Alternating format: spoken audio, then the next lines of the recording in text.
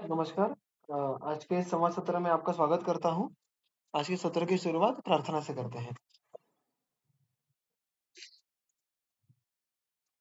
ओम सहनावतु सहनौ भुनक्तु, सह वीर्यं करवावहै, तेजस्विनावधीतमस्तु, मा विद्विषावहै। ओम शांति शांति शांति।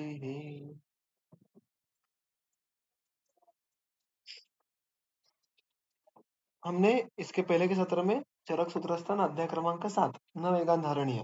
इसमें जो नाम से ही समझ में आता है कि जो इसका प्रमुख प्रकरण है इस अध्याय का, वो है जो अधारणीय वेग है उनका वर्णन करना। उसके बारे में हमने देखा है, इस अध्याय में केवल इतना ही वर्णन नहीं है अगर आप आगे चलकर देखो तो अधारणीय वेगोजन से धारणीय वेग, फिर व्यायाम का वर्णन, फिर जो अहित, ऐसा जो उचित कोई आहार विहार होगा, उसका त्याग कैसे करना है? प्रकृति, ऐसे अनेक अन्य विधि भी प्रकरण हमें देखने के लिए मिलते हैं। किंतु जो सबसे मुख्य प्रकरण है वो है न वेगान धारणीय अर्थात अधारणीय वेग। उसमें से अभी हमारे जो जुम्बा इस वेग तक हमारा वर्णन हो गया था पढ़ के। उसके बाद क्षुधा, ये वेग चलकर, आगे चलकर, सूत्र क्रमांक 20 से लेकर 25 तक अधारणीय वेगों के बारे में वर्णन है। तो उसके बारे में हम देखेंगे और आज के सत्र में हम उतना ही देखेंगे क्योंकि जो इसके आगे का जो सत्र है जो वर्णन है, वो धारणी वेगों का है। और उसके बारे में गंगाधर जी ने अच्छी खासी टीका लिखी है और उसके बारे में थोड़ा भाष्य करना भी आवश्यक है। तो आज हमारा अधारणीय वेगों का वर्णन पूरा हो जाएगा और फिर इसके आगे के दीपावली के बाद के सत्र में हम इसी अध्याय के धारणी वेगों से आगे पढ़ना शुरू करेंगे। तो सूत्र क्रमांक बीस देखिएगा शुद्धा वेग धारण का। कार्य दौर्बल्य वैवर्ण्य अंग वैवर्ण्यम अंगमर्दोर्चि भ्रम क्षुद वेग निग्रह तत्र स्निग्धोषणम लघु भोजनम। अब ये तो बहुत बार, बहुत लोगों के द्वारा किया जाने वाला वेग धारण है क्षुधा वेग धारण। और प्रायः क्षुधा, फिर अग्नि। अग्नि का जो आश्रय है वो पित्त। ऐसा कोरिलेशन हमें बहुत आसानी से समझ में आ जाता है। और फिर क्षुधा वेग धारण के कारण फिर पित्त प्रकोप होना यह बात भी कुछ लोगों में देखने के लिए मिलती है। किंतु क्षुधा ये भी वेग है और अन्य किसी भी वेग जैसे ही इसमें भी वेग धारण के कारण वात का प्रकोप हो सकता है, ये बात हम प्रायः भूल जाते हैं। और जिन व्यक्तियों को समय पे भूख लगने के बाद भी न खाने की बहुत दीर्घकालीन इतिहास हो, उनमें हमें वात प्रकोप के बारे में बहुत अच्छे सोचना पड़ता है। अतः अनुबंध में रूप, अनुबंध के रूप में पित्त होने की संभावना, किंतु वेग धारण के कारण वात प्रकोप इसको बिना बोले चिकित्सा के बारे में सोचना आवश्यक हो जाता है। लक्षणों में भी देखिएगा कार्य अब एक क्लासिकल अपतर्पण का ही देखिए।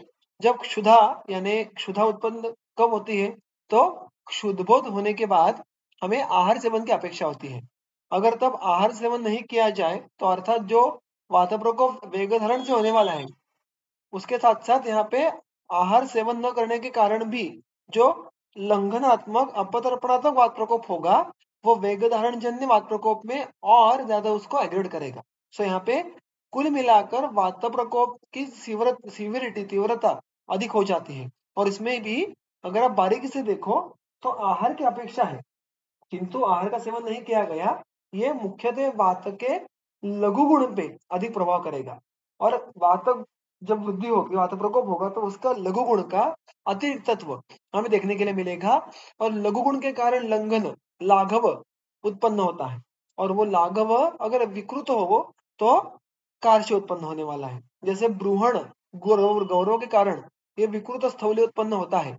उसी प्रकार से विकृत अतिरिक्त लाघव के कारण कार्य उत्पन्न होने की संभावना बिल्कुल रहती है। अतः यहाँ पे हमें वेग धारण में जो सबसे पहला जो लक्षण है, वो है कार्य उसके साथ साथ अर्थात दौर्बल्य, अभी कहा वैसे कि एक तो वेग धारण जन्य वात प्रकोप और समय पे जब आहार की आवश्यकता है तो आहार ना लेने के कारण होने वाला अपतर्पण। और इस कारण फिर अपतर्पण और वात प्रकोप जन्य, दौर्बल्य ये लक्षण आएगा। वैवर्ण्य, अब देखिए, एक बहुत ही, अः, हमें कहूँगा कि विशेष लक्षण है जो हम हमारे बुद्धि के तर्क के द्वारा उसको सुलभता से समझ नहीं पाएँगे।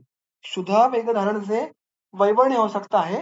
ये हमें बात हमारे अग्नि और हमारे वर्ण, उसके साथ साथ ही वायु और वर्ण, ये जो कोरिलेशन है, इसको एक बार फिर अधोरेखित करती है। तो देख, वैसे देखने के लिए जाए तो इनके जो कोरिलेशन है, वो हमें अन्यत्र भी, यानी जब अग्नि के जो अग्नि ऐसी बातें कही है। आप अगर चरक चिकित्सा स्थान अध्याय क्रमांक पंद्रह देखो तो वर्ण ये जो भाव विशेष है, वो अग्नि पर निर्भर करता है ऐसा स्पष्ट रूप से कहा है। उसी प्रकार हमें पता है कि मुख्यत्वे उदान वायु का कर्म भी वर्ण इस प्रकार से कहा गया है। तो वायु, अग्नि, इनका भी वर्ण इस भाव पे कार्य होता है यह बात प्राय हमारे मन में आती नहीं है।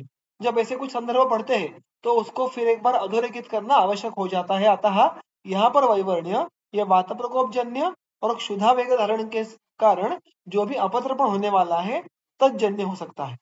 अंगमर्द अंगमर्द ये सार्वदेहिक लक्षण है और यहाँ पे प्रायः अंगमर्द में जो दूष रहता है, वो रस धातु रहता है। और रसाश्रित जब वात प्रकोप हो तो रसाश्रित जब सामावस्था हो तो हमें वहाँ पे अंगमर्द ये लक्षण देखने के लिए मिलेगा। अब देखिए, यहाँ पे शुद्ध वेग धारण के कारण जो वात प्रकोप होने वाला है, उसका आगे चलकर प्रसर या अन्यत्र जाना, वो कहाँ पे जाना? तो उसके लिए रसाश्रित होना ये सबसे आसान है। क्योंकि आमाशय, पक्वाशय, इस महास्रोत से जो शाखा गति होती है, उसके लिए सबसे समीप धातु कौन सा होता है? तो वो रस धातु रहता है। अतः देखो, आमों का भी रस धातु में मिश्रण होना ये अधिक सुलभता से होता है दैन अन्य धातु से। इसलिए सामरस ये परिस्थिति हमें बहुत सारे रुग्ण में देखने के लिए मिलती है, क्योंकि आम का जो एंट्री पॉइंट है, वो रसव स्रोत से काफ़ी नज़दीक है। वैसे ही यहाँ पर क्षुधा वेग, ये अग्नि संबद्ध कोष्ठ संबंध वेग होने के कारण उसके समीप वाला जो रस धातु है सदाश्रित वात प्रकोप होने के कारण अंगमर्द लक्षण उत्पन्न हो सकता है। अरुचि, ये भी रसाश्रित लक्षण है। अब उसके हरक के पीछे वात के अंश अंश कल्पना उसका विशेष स्थान, यानी अरुचि उत्पन्न होने के लिए हृदय, इस रसव स्रोत के मूल स्थान की दृष्टि होना यह आवश्यक रहेगा।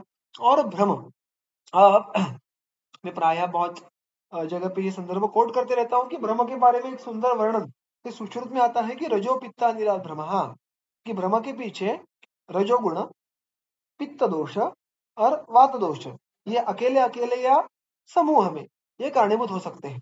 अतः जब रुग्ण, और इतना ही नहीं अगर आप अजीर्ण के लक्षण देखो चरक चिकित्सा पंद्रह में, वहाँ पर भी ब्रह्म लक्षण आता है। अगर आप कफक्षय के लक्षण देखो, वहाँ पर भी ब्रह्म लक्षण आता है। तो एक ही लक्षण भिन्न भिन्न संप्राप्ति के द्वारा उत्पन्न होने का एक बहुत अच्छा उदाहरण है। और अतः जब भी यह लक्षण आएगा तो हमें सोचना पड़ता है कि यहाँ पर इस लक्षण के पीछे की संप्राप्ति क्या होगी। यहाँ पे अर्थात अपदर्पण जन्य और मुख्यत्व वात प्रकोप जन्य भ्रम ये यहाँ पे अपेक्षित होगा। क्योंकि चिकित्सा में बहुत भिन्नत्व आता है। वात शमन चिकित्सा भिन्न होती है। पित्त शमन करके भ्रम हरण करना अलग होता है। कफ वृद्धि करके भ्रम कम करना भी अलग होता है। तो यहाँ पे भ्रम, ये वात प्रकोप जन्य होगा, ये बात यहाँ पे समझ के लेनी है। ये सारे लक्षण है क्षुधा वेग निग्रह के। उसकी चिकित्सा क्या है? स्निग्ध, उष्ण, लघु भोजन। तो ये तो अर्थात हमारा जो सामान्य आहार विधि के नियम है, उसका ही भाग है। तो आहार सेवन करना, ये उसकी साक्षात हेतु विपरीत चिकित्सा यहाँ पे उन्होंने की गई है। तो ये स्वयं में सुस्पष्ट है। तो इसमें जो भी विकृत लघुत्व आया है, उसको फिर आहार से ही उसको प्राकृत करना, यानी विकृत लघुत्व को कम करके साम्यवस्था प्रस्थापित करना, ये आहार सेवन का प्रयोजन है। आगे का वैद देखो, तृष्णा वेग धारण कंठास्य शोष बाधिर्यम श्रम साधा रुदिव्यथा पिपासा निग्रह तत्र, शीतम तर्पण मिश्यते पिपासा यह तृष्णा। इस वेग निग्रह के कारण कंठ और आस्य यहाँ पे शोष। अब देखिए, प्रायः जब प्यास लगती है तो ओष्ठ, मुख, कंठ, तालु यहाँ पर शुष्कत्व उत्पन्न होती है। और अगर आप उदक व स्रोतस के मूल स्थान देखने के लिए जाए तो वो भी तालु और क्लोम इसी प्रकार से कहे गए हैं। तो हमारा मुख जो कफ का स्थान भी है, उसके साथ साथ जीव ओष्ठ, कंठ, ये तालु, ये सारे उसके साथ साथ उदक वह स्रोतस के अभिव्यक्त के स्थान भी ऐसा हम कह सकते हैं कि जिससे हम उदक व स्रोतस का परीक्षण कर सकते हैं, जिसका कि तृष्णा एक मुख्य लक्षण है। और इसीलिए कभी पेट में प्यास नहीं लगती, प्यास कभी भी हमें मुँह या तालू में लगती है। अतः तृष्णा वेग निग्रह के बाद भी जहाँ पर शोष होगा, वो प्रायः जगह कौन सी होगी? अर्थात कंठ हास्य बाधिर्य इसके पहले के सत्र में किसी ने तो प्रश्न पूछा था। इसके पीछे का मैंने कहा था कि इसका सटीक सटीक जो उसका एक्सप्लेनेशन होगा वो शायद मेरे पास नहीं, लेकिन ये कोरिलेशन बहुत जगह देखने के लिए मिलता है कि उदक व स्रोतस जल महाभूत अर्थात और बाधिर्य या कर्ण संबंध लक्षण। तो इसके बारे में अर्थात और अध्ययन करना पढ़ना आवश्यक है। किंतु ये इस एक कोरिलेशन को ध्यान में रखिएगा कि अन्य किसी भी इंद्रिय या इंद्रिय अधिष्ठान के अलावा केवल कर्ण इंद्रिय अधिष्ठान संबद्ध बाधिर्य ये लक्षण यहाँ पे कहा है? जो कि तृष्णा वेग धारण जन्य है। ये बातें हमें हमारे आयुर्वेदीय शरीर के प्रति कुछ अलग नज़रिया देने के लिए उपयोग में आती है। बहुत बार हमें विकृति भी प्रकृति के बारे में बहुत बातें दर्शाती है। यहाँ पर बाधिर्य तृष्णा वेग निग्रह का लक्षण है। ये बात हमें उदक स्रोतस जल महाभूत और कर्ण। इसका शरीर में कोई तो बहुत ही दोषों की गति के अनुसार बहुत ही नज़दीक वाला कोरिलेशन होगा। ये बात अधोरेखित करती है इसको समझना आवश्यक है। श्रम श्रम यानी अल्पायासीन श्रम थोड़ा सा काम करने कर भी थक जाना, ये लक्षण हुआ। साध साध सदन। या वैसे देखने के लिए जाए तो मुख्यत्वे मन के आश्रय के अभिव्यक्त होने वाला लक्षण है। यहाँ पे शरीर के आश्रय से दौर्बल्य होना यह अपेक्षित नहीं है। शरीर में जो प्राकृत उस रुग्ण का बल होगा, वो बल होने के बाद भी उसके हम व्यवहार में कहते हैं कि हाथ पैर में से ताकत निकल जाए, मानो एज इफ़ उसको सदन कहना है। और ये जो वात का उत्साह नामक कर्म है, उसके अत्यंत विपरीत कर्म है कि कर्म के आरंभ करने की ही अनिच्छा होना। और अतः यहाँ पर ये क्लासिकल वात प्रकोप का लक्षण है यह बात समझना आवश्यक है। हृदय व्यथा, हृदयाश्रित व्यथा, ये भी फिर एक बार हृदय का और एक लक्षण यहाँ पे उन्होंने वर्णित किया है, इस प्रकार पिपासा निग्रह के लक्षण, यहाँ पे उन्होंने कहे हैं। उसकी चिकित्सा में क्या कहा है? शीतम तर्पण मिश्रते शीत, इस प्रकार के तर्पणों की इच्छा वहाँ पे रखिएगा, यानी इस प्रकार के तर्पणों का उपयोग कीजिएगा। अब तर्पण में क्या अपेक्षित है? तो गंगाधर जी कहते हैं, तर्पयती तर्पणम, जो मुख्यत्वे रस धातु का कार्य कहा जाता है प्रीणन उसके नज़दीक वाली संज्ञा है तर्पण। जिसको, जो उदक का काम है, जब हम थक के बाहर से आते हैं और मुँह पे पानी छिड़कते हैं, या सब्ज़ियाँ ताजी रहने के लिए हम उसको पानी में डुबो के रखते हैं, उन पे पानी छिड़कते हैं, ये उससे होता क्या है, वो सब्ज़ियाँ या हमारा मुँह पे हम पानी मारते हैं तो हम रिफ्रेश हो जाते हैं। उसी प्रकार से शरीर के भीतर जो कर्म है, प्रसन्नता देने का, शरीर को, इंद्रियों को, मन को उसको हम तर्पण कहेंगे। और इसलिए द्रवत्व की अत्यंत बड़ी अपेक्षा होती है। शीत और द्रव गुण, ये दो गुण शरीर अंतर्गत तर्पण करते हैं, जो दोनों गुण, ये जल महाभूत के आश्रय से हैं। अब यहाँ पर भी अर्थात तृष्णा निग्रह होने के कारण जल महाभूत का क्षय होने वाला है और उसके लिए तर्पण की अपेक्षा है। तो तर्पयति, जिन आहार कल्पनाओं से तर्पण होगा, उनकी योजना करनी है। अब वो कौन से है? तो गंगाधर जी कहते हैं गंगाधर जी सुशुल को कोट करते हैं कि मंथ यवागु वापि शीतलाम। आप मंथ यवागु, ऐसी जो द्रवप्राय आहार कल्पनाएँ हैं, किंतु वो शीतल करके सेवन करते समय स्पर्श, उसका शीत हो, इस प्रकार से उनको सेवन कीजिएगा तो वहाँ पर तृष्णावेग शमन से जो व्यापक उत्पन्न हुए हैं, उनका शमन होगा। तो ये हो गई तृष्णावेग धारण की चिकित्सा। अब उसके आगे है निद्रा वेग सॉरी बाष्प यानी अश्रु निग्रह की लक्षण और उसकी चिकित्सा। प्रतिशायोक्षी रोगश्च हृदरोग अरुचि भ्रम बाष्प निग्रहण तत्र स्वप्नो मध्यम प्रिया कथा। देखो, अब बाष्प का भी जो शुश्रूष का कोट है कोट है इसी वेग के बारे में। वो क्या है? तो आनंदजम वापि अथ शोकजम व नेत्रोदकम प्राप्तम अमुंचतः ही। यानी हमने इसकी टीका इसके पहले भी देखी थी कि आनंद या शोक, इस कारण नेत्र में अश्रु आना उसको यहाँ पे बाष्प वे कहा है। नेत्रोदक, यानी अश्रु, प्राप्तम अमुंचतः, यानी अश्रु आए ऐसी खुशी होना या अश्रु आए ऐसा दुख होना, किंतु उस अश्रु वेग को बाहर आने से रोकना, इसको कहा है अश्रु या बाष्प वेग धारण। इसको अभी देखो, अभी जब तक हम रुग्णों को अच्छे से, उसको कंफर्ट जोन क्रिएट करके पूछेंगे नहीं, तब तक इस प्रकार के वेगों का इतिहास आना, ये संभव नहीं है। क्योंकि किसी को ये वेग है, उसका धारण करना नहीं चाहिए, उससे कुछ शारीरिक भी परिणाम हो सकते हैं। इस बात की भनक वैद्यों को भी नहीं होती, या होने के बाद भी भूल जाते हैं तो सामान्य मनुष्य को कैसे होगी? अतः, अर्थात ये बहुत ही कॉमन हेतु है, ऐसा भी नहीं है। हेतु इन द सेंस एक अपथ्य ज़रूर है, किंतु केवल अश्रु वेग धारण से पूरा का पूरा व्याधि हो जाना, ये बहुत कॉमन बात है, ऐसा नहीं है क्योंकि इसके लिए हेतु सेवन का बल बहुत अधिक चाहिए। किंतु ये देखने के लिए बिल्कुल मिलता नहीं, ऐसा भी नहीं है। अतः हमारा कर्तव्य है कि केस टेकिंग में ये बात रुग्ण से पूछ के उसके बारे में कुछ ज्ञान प्राप्त करने का प्रयास करना। अब देखो, अगर मानस भावजन्य, ऐसा कोई जल महाभूत नेत्र के द्वारा बहिर्प्रवर्तित होने से उसको रोक रहे हैं तो अर्थात वेग निग्रह है तो वाता प्रकोप होगा। किंतु नेत्र ये शिर के आश्रय से जो है, वो एक बहिर्मुख स्रोत है, अधोद्वे सप्त शिरसी, इस प्रकार से। तो वो बहिर्मुख स्रोत होने के कारण उस नेत्रोदक और तत्वात की पुनश्च अभ्यंतर गति होने वाली है। शिरस्थ मुख्यतः विकृति देखने के लिए मिलेगी, क्योंकि शिर, ये समीप का अवयव है और इसीलिए लक्षणों में देखिएगा प्रतिशाया ये जो नेत्रोदक या अश्रु है, वो शिर में प्रविष्ट होकर वहाँ पे अभिचंद करके नासा से बाहर आना या उसकी विमार्ग का होना, ये प्रतिशाय में हो सकता है। अक्षिरोगश्च, अर्थात, आप देखोगे तो बाष्प शोकज अतिसार की अलग संप्राप्ति ये हमें सुश्रुत और उसी प्रकार उसी प्रकार से संप्राप्ति माधव निदान में देखने के लिए मिलती है। और वहाँ पे जो अश्रु है, उनके आश्रय से मुख्यत्वे उष्णता का अनुबंध रहता है, अतः उसका भी रिफ्लेक्शन हमें लक्ष्मण में देखने के लिए मिलता है, अतिसार के भी। उसी बात को यहाँ पे भी सोचना है कि अगर बार बार बाष्प वेग धारण हो, नाम ही देखिए ना, बाष्प तो इस नाम में भी हमें उष्णता का अनुबंध प्रतीत होता है। और इस प्रकार से उष्णता का अनुबंध होने वाला द्रव, ये बार बार उसका अवरोध किया गया तो वो नेत्र में प्रविष्ट होकर नेत्र की व्याधि भी कर सकता है।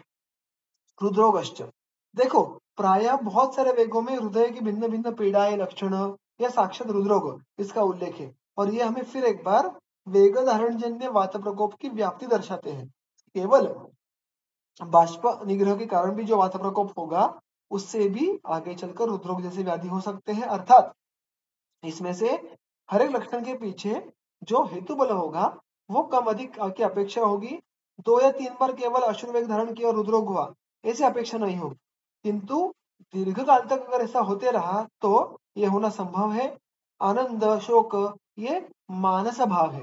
अतः मन का जो आश्रय है, हृदय, वहाँ पे स्थान वैगुण्य उत्पन्न होना दीर्घ काल से अगर इन वेगों का धारण करे तो ये भी संभव हो सकता है और अतः हृदय संबंध संप्राप्ति उत्पन्न होने की संभावना यहाँ पे बढ़ सकती है। अरुचि ही, अरुचि अरुचि भी बार बार आता है। जिह्वा हृदय संशीत दोष जब हो तब अरुचि लक्षण उत्पन्न होता है, ऐसा ग्रंथ वचन है। यहाँ पे मुख्यत्व हृदयाश्रित जो अगर दोष हो या मानस भाव जो अभी देख रहे हैं बार बार उनकी अभिव्यक्ति होना संभव नहीं हो तो अरुचि उत्पन्न होना ये हमें व्यवहार में भी देखने के लिए मिलता है। भ्रमा भ्रमा के बारे में हमने अभी अभी देखा था। यहाँ पे मुख्यत्व अब रजोगुण का भी एक बहुत बड़ा रोल होने वाला है और उसके साथ साथ वात प्रकोप के बारे में भी यहाँ पे सोचना आवश्यक हो जाता है। बाष्प निग्रहण तत्र स्वप्न स्वप्न नींद लेना, मध्यम, मध्य सेवन करना प्रिया कथा। और प्रिय जो सुनने के लिए अच्छी लगे, ऐसी बातों का श्रवण करना। अब देखिए यहाँ पे, यहाँ पर भी मैं कहूँगा, हेतु विपरीत चिकित्सा पे ज़ोर है। प्रिया कथा, ये अर्थात जब शोक जन्य अश्रु हो, उनका निग्रह हो तो काम में आएगा। क्योंकि वहाँ पे हेतु विपरीत चिकित्सा करने से उस हेतु से जिस प्रकार का दोष प्रकोप हुआ है, उसके विपरीत कार्य होता है। मध्य, अब मध्य के दो भाग हैं।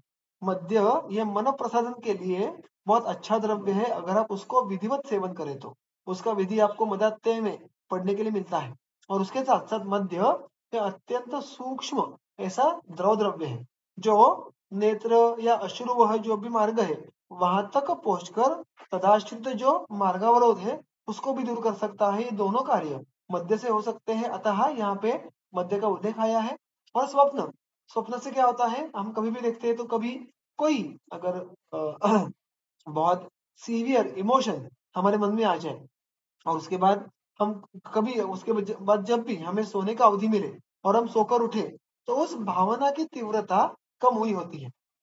या उस भावना के प्रति हमारा टॉलरेंस बढ़ा हुआ होता है। और ये बहुत ही सामान्यतः अनुभूत होने वाली बात है। बहुत बार इंग्लिश में कहते हैं ना कि you just sleep over it तो स्वप्न से भी हमारे जो वाता का निग्रह होना वात का निग्रह होने के कारण मन पे भी नियंत्रण प्राप्त होना और इसके कारण वात प्रकोप जन्य और मन क्षोभजन्य लक्षण कम होना, ये बातें यहाँ पे अब चिकित्सा में अपेक्षित है। तो ये हुआ बाष्प निग्रह जन्य लक्षण और उसके चिकित्सा।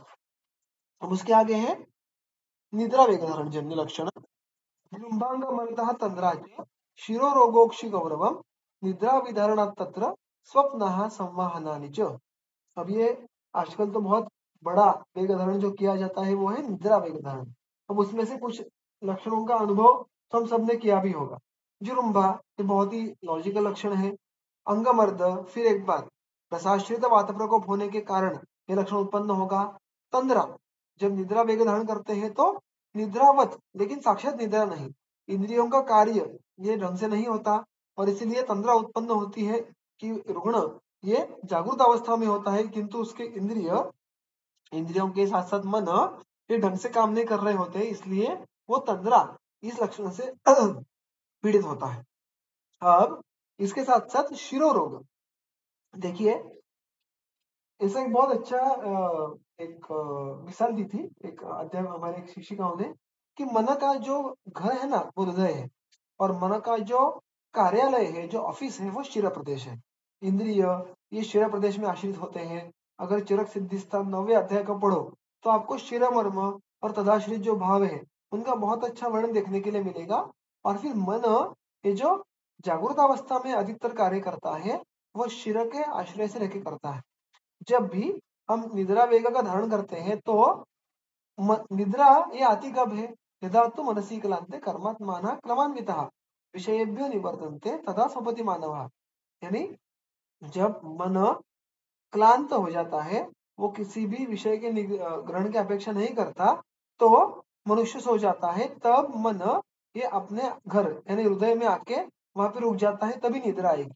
अगर मन हृदय से बहिस्थ होगा तो निद्रा आना संभव नहीं है। और तो यानी कहाँ पे होगा? तो प्रायः वो शिर प्रदेश में रह जाता है। फिर बहुत सोचना या इंद्रिय निग्रह कैसे कोई वस्तुएँ देखना, सुनना, पढ़ना, ये सारी बातें इसमें आ जाती है। अतः यहाँ पर शिरो रोग, जहाँ पे बात होना अपेक्षित नहीं है, क्योंकि निद्रा आई है, वहाँ पर बलपूर्वक पात का जो संचार हो रहा है, ये शिरो रोगों को आमंत्रण दे सकता है ये यहाँ पे याद रखना आवश्यक है। तो निद्रा वेग धारण ये शिरो रोग का एक हेतु हो सकता है। अक्षी गौरव ये तो सर्वानुभूत ऐसा लक्षण है कि आँखें भारी हो जाना। तो इसमें से काफ़ी लक्षण ये बहुत ही सुस्पष्ट अनुभूत है। कुछ लक्षणों का तर्क हम हमारे मन से लगा सकते हैं। निद्रा विधारण तत्र स्वप्न हेतु विपरीत चिकित्सा फिर एक बात अगर नींद अपने रोग के रखने के कारण अगर कुछ हो रहा हो तो उसकी चिकित्सा क्या है? आप विधि पूर्वक निद्रा का सेवन कीजिएगा और संवाहनानी च, यहाँ पे अंग मर्द तंद्रा ये सारे जो रसाश्रित, यानी यहाँ पे वाता प्रकोप, ये केवल शिर प्रदेश तक मर्यादित है, ऐसा नहीं है। वह सर्वदेह आश्रित है और वहाँ से उसका शमन करने के लिए संवाहन नामक उपक्रम की योजना की है। संवाहन के बारे में चक्रपाणी कहते हैं, संवाहनम पाणिना पादादि प्रदेश सुखम अभिहननम उन्मर्दन संवाहन यानी हाथों के द्वारा पाद इत्यादि प्रदेशों में सुख, उस व्यक्ति को सुख संवेदना हो। इस प्रकार से अभिहनन यानी हल्के हल्के वहाँ पे ताड़न करना या उन्मर्दन, उसको ऊपरी दिशा से उसको मसलना, रगड़ना। अगेन सुख यहाँ पे आवश्यक है। यहाँ पे संवहन का अर्थ अभ्यंग, यानी तैलयुक्त, ऐसा अभ्यंग अपेक्षित नहीं है। आप किसी भी द्रव्य को उपयोग में लाए बिना भी केवल अपने हाथ से, अब जैसे हमारे घर में कोई बड़े हो तो उनके हाथ पैर दबा के देते हो, उस प्रक्रिया को ही संवहन कहते हैं। फिर वहाँ पे स्नेह का उपयोग हो या ना हो। गंगाधर जी यही बात को कहते हैं अलग शब्दों में संवाहनम पादादि प्रदेशे सुखयितुम। सुख प्राप्त होने के लिए मुहु हल्के हल्के पाणिना वाहनम हाथों के द्वारा उसको गति पूर्वक उसको वहाँ पे वर्धन करना अभिहरण करना, इसको संवाहन कहना है। सुश्रुताचार्य निद्राघात जन्य जो लक्षण है, उसमें क्षीर का भी उल्लेख करते हैं, जो भी सर्वश्रुत है, कि दुग्ध का सेवन करने के कारण एक तो अनिद्रा में तो उपयोग होता है, उसके साथ साथ निद्रा वेग जन्य वात प्रकोप को कम करने के लिए भी ये एक बहुत ही अच्छा प्रत्यनीक द्रव्य है, दुग्ध या क्षीर। और अंतिम वेग, श्रम श्वास गुल्म रुद्रोग संमोहा श्रम निश्वास धारणात जायन्ते तत्र विश्रामो वातक निश्चय क्रियाहिता। गुल्म, ये देखो, ये वैसे देखने के लिए जाए तो बलवान व्याधि है, कोष्ठाश्रित व्याधि है, रुद्रोग, सम्मोह, मिथ्या ज्ञान। सम्मोह का अर्थ होता है कि जो यथार्थ ज्ञान होना चाहिए, वैसा नहीं होता है। ये सारे लक्षण किसके कारण होते हैं? श्रम निश्वास। कोई भी कष्ट का काम करे इफ़ यू एग्जर्ट फिजिकली उसके बाद जो सांस फूलती है, अगर वो फूली हुई सांस को उसी प्रकार से नहीं लिया गया और आप उसको सप्रेस करने लगे तो हम उसको श्रमश निश्वास धारण कहेंगे। और यहाँ पे साक्षात प्राणव स्रोतस और उसका मूल स्थान महास्रोतस, वहाँ पे बलवान वाद प्रकोप होने वाला है। और इसलिए यहाँ पे जो उपद्रव मेंशन है, वो भी बलवान है। गुलम, रुद्रोग ये। तो मैंने कहा था वैसे कि हेतु बल और उससे जिस स्थान पे, जिस अंशांश कल्पना के अनुषंग से वात प्रकोप होगा, वैसे लक्षण हमें देखने के लिए मिलेंगे। अब यहाँ पे उसकी चिकित्सा क्या कही गई है? वातक निश्चित क्रिया हमने पहले भी देखा था शायद से जुम्भा में, कि जब ऐसी बात कहते हैं कि केवल वातग्न क्रिया करो बस तो हमें क्या करना है? हमें जाकर ग्रंथ में जब जहाँ पर भी वातक के सामान्य उपक्रम है, उसमें से यहाँ पर आपको जो आपके बुद्धि के द्वारा, तर्क के द्वारा जो योग्य उपक्रम लगे, उसका चयन करना है। उसमें कोई हेतु प्रत्येक उपक्रम की आवश्यकता नहीं है। ऐसा अर्थ हम यहाँ पे ले सकते हैं। तो इस प्रकार यहाँ पे अधारणीय वेगों का जो वर्णन है, वो समाप्त हो जाता है और उसका उपसंहार ये आगे के सूत्र के द्वारा होता है। क्या है उपसंहार? वेग निग्रह जाहा रोगा ये एते परिकीर्तिता इच्छन तेषाम अनुत्पत्ति वेगान न धारयेत। सो दे आर रीडायरेक्टिंग हमारा मैसेज क्या है? ये सारा सुनने के बाद आपको करना क्या है? तो बेसिकली एतान वेगान न धारयेत। इन सारे वेगों का धारण मत कीजिएगा। क्यों? क्योंकि ऊपर ऊपर जो सारे लक्षण थे वो कैसे हैं? वेग निग्रह जहा रोगा, ये एते परिकीर्तिता, ये सारे जो वेग निग्रह के कारण रोग, हमने अभी तक उनका कीर्तन किया, वर्णन किया, उनकी अगर उत्पत्ति आपको नहीं चाहिए तो तो अभी तक हमने जो भी लक्षण देखे, उस जैसे लक्षणों आप, लक्षणों से अगर रुग्ण या कोई व्यक्ति सफ़र हो, ऐसा अपेक्षित नहीं है या उसको उसका अनुबंध हो, ऐसी अपेक्षा नहीं होगी तो अर्थात हेतु सेवन नहीं करना होगा। और इसलिए तेषा अनुत्पत्ति इच्छन। ये क्या हो गया? ये स्वस्थ वृत्त हुआ। जो व्याधि अनुत्पन्न है, उसको उत्पन्न होने देना। अनागता बाद प्रतिषेध। उसको कहा है? तेषाम अनुत्पत्ति इच्छन। उनकी व्याधियों की उत्पत्ति ही ना हो, ऐसी इच्छा करने वालों को यहाँ पे कहते हैं, वालों ने इन अधारणीय वेगों का धारण नहीं करना चाहिए। तो यहाँ पर ये जो मैंने कहा वैसे इस अध्याय का जो अधारणीय वेगों का प्रकरण है, वो समाप्त हो जाता है। इसके आगे धारणीय वेग या ग्रंथ ने उनको तीन हिस्सों में विभाजित किया है। मनो, वाक, काय, इनके क्रमशः कर्म। उनके बारे में विवरण शुरू होता है।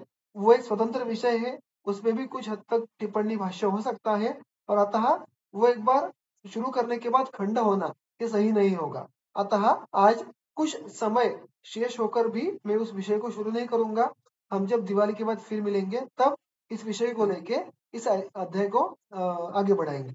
अगर आज के सत्र में किसी को कोई शंका हो, प्रश्न हो तो पूछ सकते हैं। अन्यथा आज का सत्र यहाँ पे हम समाप्त करेंगे।